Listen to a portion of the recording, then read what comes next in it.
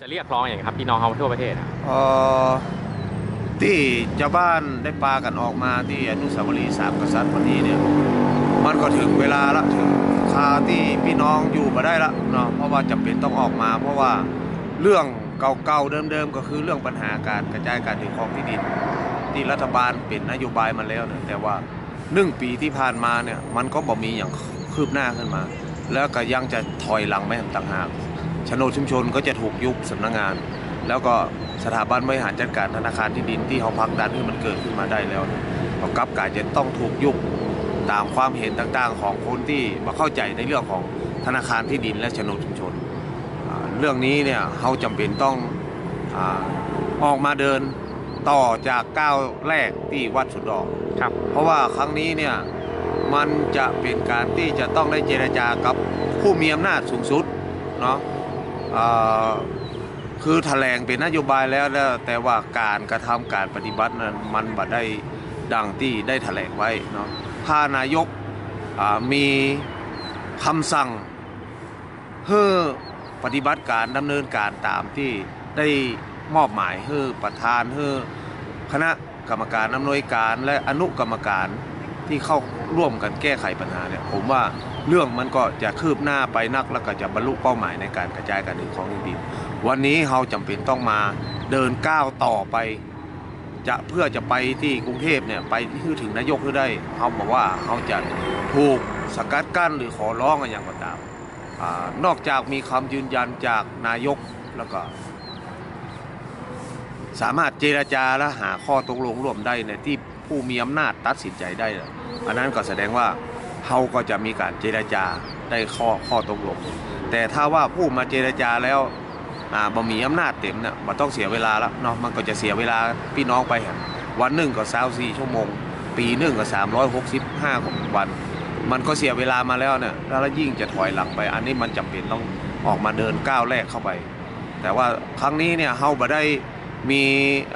รับลวงพางหรือว่าเฮาจะนี่อย่าง เฮาก็จะเดินออกจากอนุสาวรีย์สามกษัตริย์ ผ่านไปทางาหน้าวัดเจดีย์หลวง แล้วก็ออกทางาหน้าโรงพักของเมืองอำเภอเมืองเนี่ยแล้วก็จะผ่านไปทะลุออกตาแปรข้ามสะพานนวราชไปแล้วก็ผ่านหน้า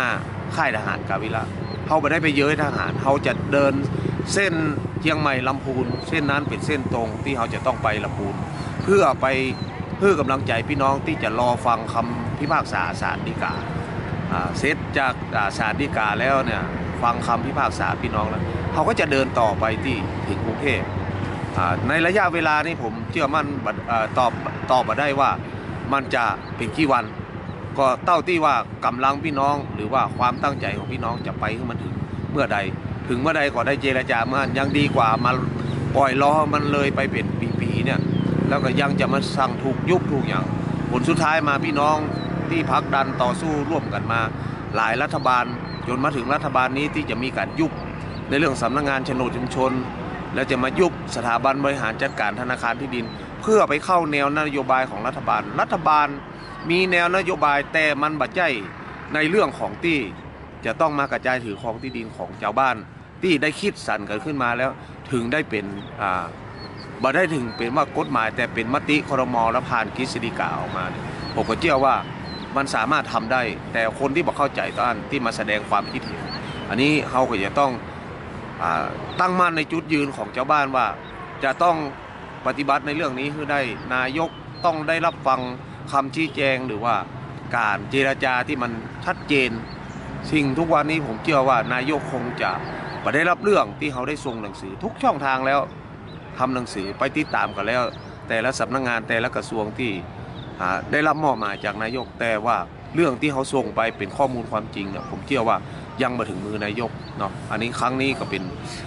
คิดว่าเป็นครั้งที่สำคัญที่สุดที่พี่น้องจะต้องทำความเข้าใจกับสังคม แล้วก็เพื่อผู้ที่มีอำนาจสูงสุดเนี่ยได้รับการรับรู้ถึงปัญหาของพี่น้องคนจนแต่